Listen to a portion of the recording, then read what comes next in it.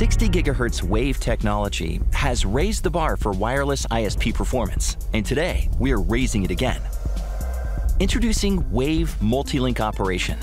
Wave MLO harvests non-contiguous unlicensed spectrum to deliver amazing real-world speeds over incredible distances at astonishing value.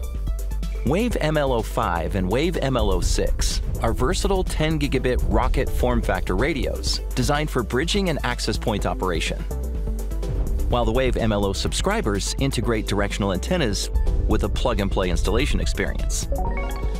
We're also excited to announce our second generation 60 GHz Wave AP, featuring 90 degrees of coverage, SFP Plus support, and an improved 5 GHz backup system with an optional external antenna mode for robust multi-point performance, even in extreme weather events. And to complete the Wave technology family, we have developed a homegrown FPGA-based 10 gigabit XGS PON platform with an astounding $399 OLT price point.